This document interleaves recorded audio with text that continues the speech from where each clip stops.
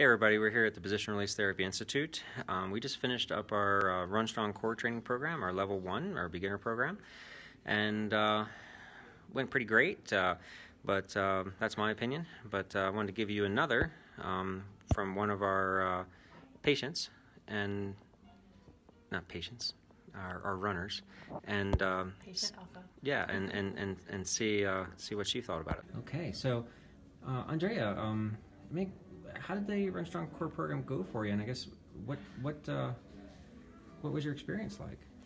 Um, well, when I started the Run Strong core program, I was still working through an injury. So it was great because it helped me focus on things that I could do to strengthen my body so that I could prevent injury in the future. And um, helped me get ready for a Ragnar that I did right in the middle of the program. The program was awesome. Well, Yeah. what what do you think was the big highlight? If you were to say like, okay, what was the big highlight? Like, why why would I do Run Strong versus say some other just little training program? Um, well, I know that the whole program is based on research, and I mm-hmm. really like that a lot. It's not mm-hmm. just a matter of this looks good or mm-hmm. I. It was a good workout. I mm-hmm. sweat a lot, so I must be doing something right. I know that it's all very deliberate in the way that it's organized, and I liked that a lot. I saw a difference in my mm-hmm. running.